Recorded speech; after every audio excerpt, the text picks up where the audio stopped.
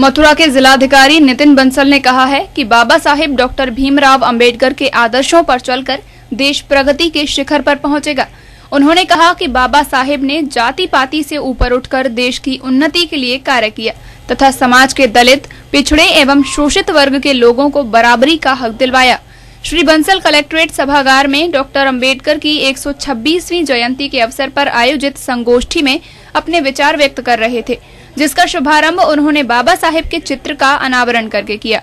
अधिकारियों और कर्मचारियों ने चित्र पर माल्यार्पण कर डॉक्टर अंबेडकर को श्रद्धा सुमन अर्पित किए। जिलाधिकारी ने कहा कि अंबेडकर ने समाज के कठोर मकड़ जाल को तोड़कर सरल बनाया तथा क्षेत्रवाद, जातिवाद आदि कुरीतियों से समाज को मुक्त कराने के लिए जीवन भर संघर्ष किया।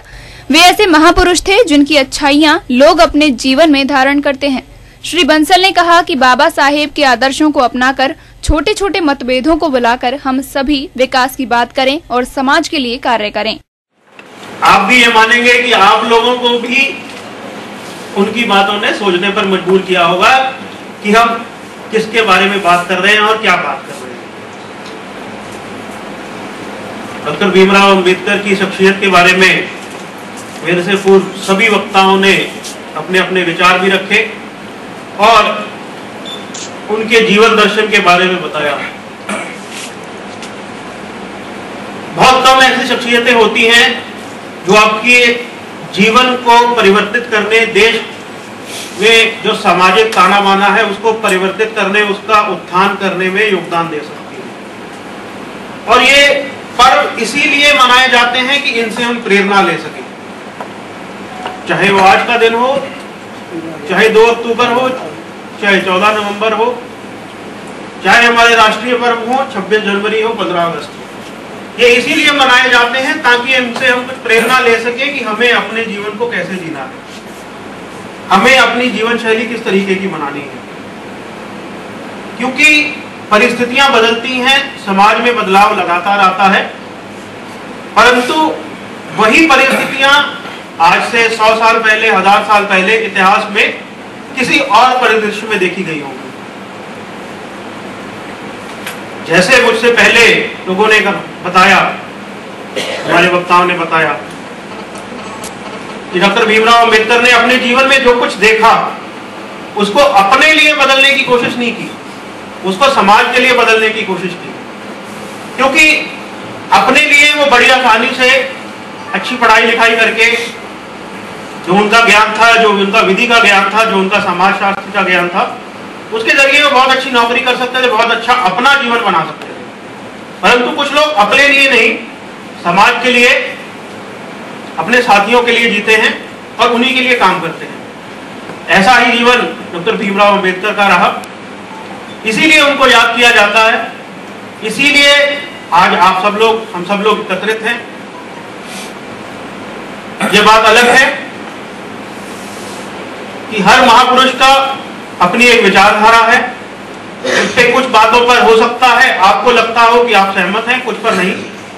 पर उनकी विचारधारा इस देश के लिए उस समय की ज़रूरत थी, मूलभूत ज़रूरत थी।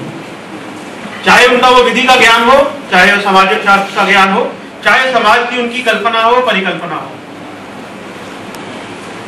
उनके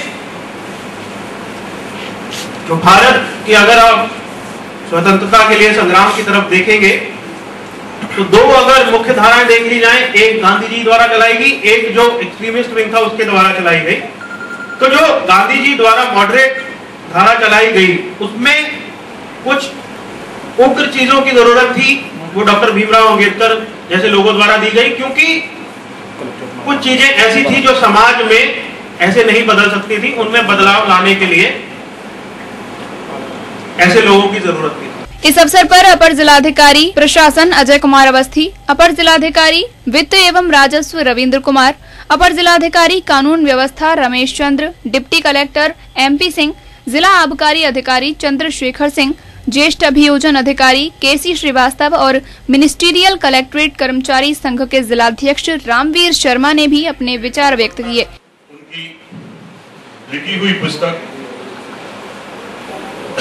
प्रॉब्लम ऑफ़ रूबी आज भी हमारे आर्थिक, सबसे पहले भारत रत्न, बाबा साहेब डॉक्टर भीमराव अंबेडकर के जन्मदिवस की हार्दिक शुभकामनाएँ। इनके जीवन, परिचय और इनके द्वारा किए गए कार्यों के बारे में अभी पूर्व वक्ताओं ने विस्तृत से जानकारी दी। वाकई में अछूतों, असहायों, निर्बल वर्ग के लिए बाबा साहब ने जो काम किया वो विश्व में अद्वितीय मिसाल है। अपनी हार की देता हूँ। बाबा साहब ने इस देश के लिए जो कार्य किया, वह है। वे उस प्राचीन भारतीय मनीषी परंपरा के अग्रदूत थे। जो बहुत पहले चली आ रही थी। यदि आप प्राचीन समय से देखें तो देश के जो दो महाग्रंथ हैं, रामायण और महाभारत दोनों ही किसी सवर्ण द्वारा नहीं लिखे गए। दोनों ही ऐसे व्यक्तियों द्वारा लिखे गए जो हिंदू समाज के जो थे हिंदू समाज की बहुत ही निचली जात जात की श्रेणियों से आते थे। फिर तत्कालीन भारतीय समाज ने उन्हें महर्ष की उपाधि प्रदान की। वो अपने आप में बहुत कम होगा। हम लोग बहुत सारे लोग बहुत कुछ उनके विषय में जानते हैं, बहुत कुछ दूसरों के द्वारा बताए गए ज्ञान के आधार पर सीखते जानते हैं। और बहुत कुछ हम जानते ही नहीं। धीरे धीरे रे मना, धीरे सब कुछ होए, माली सींचे सौ घड़ा रितवाए फल होए। तो धीरे धीरे समय आया कि आज हम अंबेडकर जी को इस रूप में याद कर रहे हैं। इसके पहले शायद ये स्थिति नहीं थी। कहते इतिहास लिखा जाता है तो सत्ता पक्ष के द्वारा लिखा जाता अथवा लिखवाया जाता है। लेकिन इतिहास में बहुत सी ऐसी विलुप्त धाराएँ होती हैं, जो समय विशेष पर सत्ता का स्पर्श पाकर उभर कर सामने आती हैं, तब हमको उनके विषय में बहुत सारी जानकारियाँ होती हैं। संभवतः ये अंबेडकर जी के साथ हुआ। मैं उस विषय में, उस विवाद में नहीं पढ़ना चाहता, लेकिन मैं इतना जानता हूँ कि जब अंबेडकर जी का जन्म हुआ और जन्म के बाद जो जो परिवर्तन हुए, उसके कारण क्या रहे? अंबेडकर के जीवन शैली, जीवन परिचय के बारे में अपने विचार व्यक्त कर चुके हैं। हर बिंदु पर उन्होंने प्रकाश डाला है। डॉक्टर बी आर अंबेडकर 14 अप्रैल अठारह इक्यानवे में इन्होंने मध्य प्रदेश के इंदौर ज़िले के मऊ में जन्म लिया। एक साधारण परिवार में संदेश में एक कड़ी और जोड़ना चाहूँगा। जाति विशेष का नायक बनाना सर्वथा गलत होगा। हम आज के आधुनिक परिप्रेक्ष्य में जी रहे हैं। अंतरराष्ट्रीय स्तर पर भी यू ने आज के दिन बाबा साहब के जन्मदिन को नॉलेज डे के रूप में मान्यता प्रदान की है सभा का संचालन संघ के सचिव कृष्ण गोपाल अग्रवाल ने किया। जनपद महावन की तहसील में भी बाबा साहेब की 126वीं जयंती बड़े ही श्रद्धा भाव के साथ मनाई गई। तहसील सभागार में आयोजित कार्यक्रम में एसडीएम, आईएएस अनुनय झा और तहसीलदार अजय अम्बष्ट सहित अन्य अधिकारियों, कर्मचारियों ने डॉक्टर अंबेडकर को श्रद्धांजलि अर्पित की। और जीवन व्रत पर प्रकाश डालते हुए उनके बताए मार्ग पर चलने का संकल्प लिया।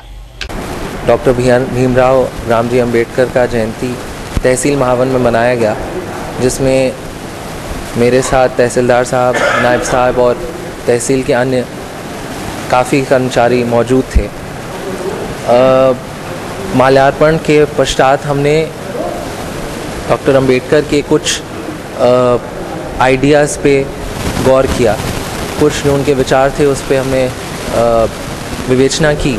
और हमें यही पता चला कि वे जो विचार उनके आज से 60-70 साल पुराने जो उनके विचार थे, वे आज भी काफ़ी रेलेवेंट हैं। और अगर हम उन विचारों पे ध्यान दें और उन विचारों को अपने अंदर समा सकें तो हम समाज में काफ़ी कुछ बदलाव कर सकते हैं, काफ़ी कुछ सुधार कर सकते हैं। और आज का कार्यक्रम बहुत सफलतापूर्वक संपन्न किया गया। और यही मैं आशा करता हूँ कि आज के दिन को छुट्टी की तरह न मनाकर कुछ जो डॉक्टर अंबेडकर के विचार हैं, उनको हम उन पर गौर करें उन पर विवेचना करें तो आने वाले पीढ़ियों में की जो समस्याएँ हैं, वो शायद कम हो सकती आज सर्वप्रथम तो पूरे तहसील प्रांगण में की साफ़ सफ़ाई कराई गई और डॉक्टर भीमराव अंबेडकर साहब के इस 126वीं जयंती पर पूरे तहसील परिवार की ओर से उन्हें नमन करते हुए सभी स्टाफ को उनके बताए हुए मार्गों पर चलने का संकल्प लिया गया, स्वच्छता का संकल्प संकल्प लिया गया और डिजिटल इंडिया को तहत डिजिटल पेमेंट और ई पेमेंट को आगे बढ़ाने के लिए भी लोगों को बताया गया कि वो डिजिटल पेमेंट का प्रयोग करें और जिससे कि माननीय प्रधानमंत्री जी की जो सोच और योजनाएँ हैं, उसको भी आगे बढ़ाया जा सके। और हमारे सभी स्टाफ ने पूरी तन्मयता के साथ इस कार्यक्रम में हिस्सा लिया और उनके बताए गए मार्गदर्शन में आगे कार्य करने का उन्होंने संकल्प भी लिया।